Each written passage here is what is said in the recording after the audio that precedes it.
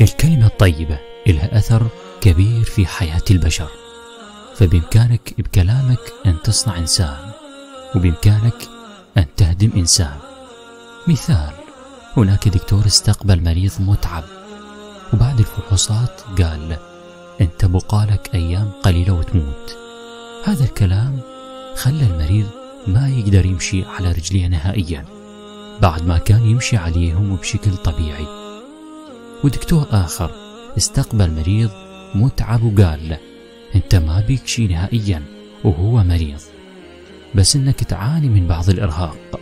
هاي الكلمات خلته يطير من الفرحة وما شعر بذرة تعب بعد كلامه. خلاصة الكلام اجعل من لسانك نهرا جاريا ولا تجعله سما ناهيا.